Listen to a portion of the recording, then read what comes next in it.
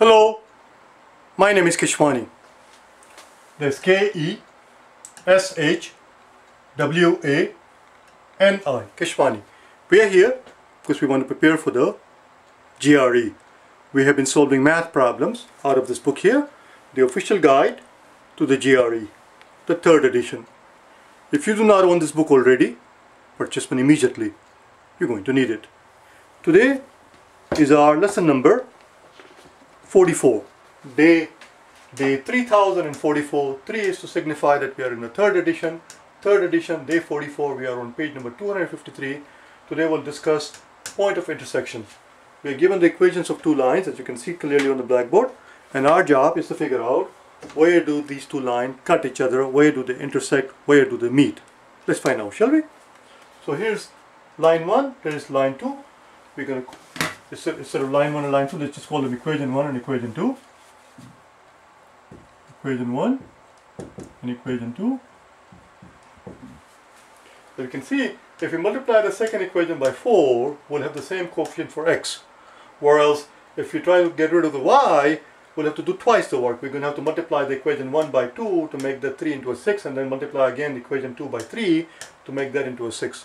Why do twice the work? Let's just take equation 2 let's just take equation 2 and multiply it by 4 and that in turn implies we're going to take equation 2 multiplied by 4 x becomes 4x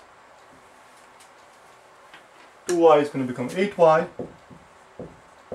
and 2 times 4 is 8 and equation 1 we can use equation 1 we can use just the way it is which is 4x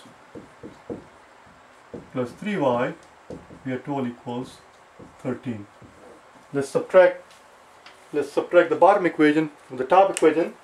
I was about to say let's subtract second equation from the first equation but that will be confusing because we are not subtracting second equation from the first equation. We are subtracting first equation from four times the second equation.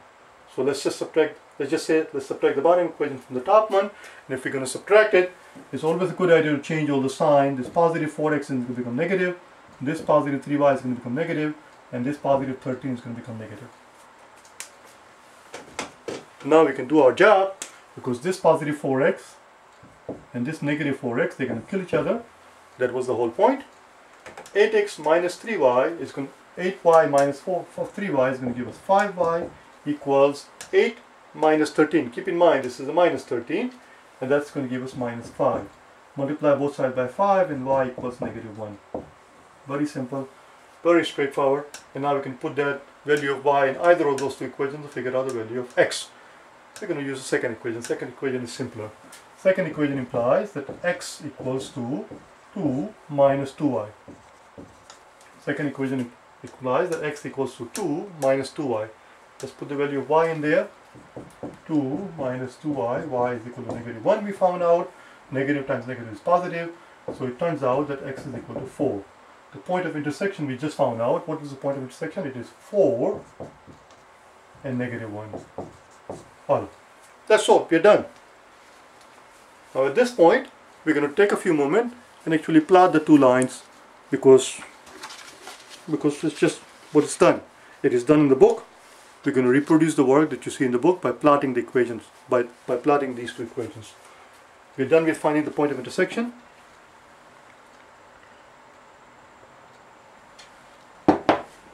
Let's plot them.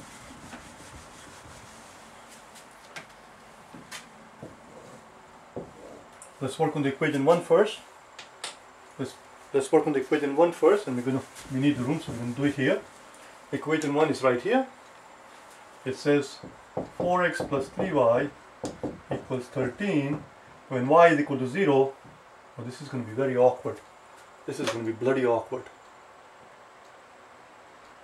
I don't know why I went there, but we have no choice. When y is equal to 0, when y is equal to 0, 4x equals 13 and x equals 13 fourths when y is 0. Where is y 0? y is 0 along x-axis. So its x-intercept is 13th 4, 13th 4. 1, 2, 3, 1, 2, 3 and this is 4 which is same as 16th 4. This is 12th 4. So 13th 4 is somewhere here. 13 4. and when x so that's when x is equal to 0 now let's put that's when y is equal to 0 now let's make x equal to 0 when x is equal to 0 this is going to drop out and 3y is equal to 13 and y is going to be 13 thirds. Y is going to be 13 thirds. Let's do it up here. 1 2 3 1 2 3 we just have to be reasonable. So this is 3 which is 12 third 13 third is going to be somewhere here. So there you go. That's our first that's our first line first line first equation. Keep your fingers crossed. If it doesn't look very nice it's not going to look very nice obviously. It's, it's, it's not going to be it's not going to be very satisfying but it looks something like this. Let's work on the second line shall we? Very quickly. Let's work on the second line see what happens. Let's do it in a different color. Second line is this one right here x plus 2y is equal to 0 when y is equal to 0 x is equal to 2 that's very simple. x is equal to 2 when y is equal to 0 that's right here. Now and when x is equal to 0 when x is equal to 0 2y has to equal 2 which means y is equal to 1 that was very straightforward. Y is 1 right here. Oh this one is quite straightforward.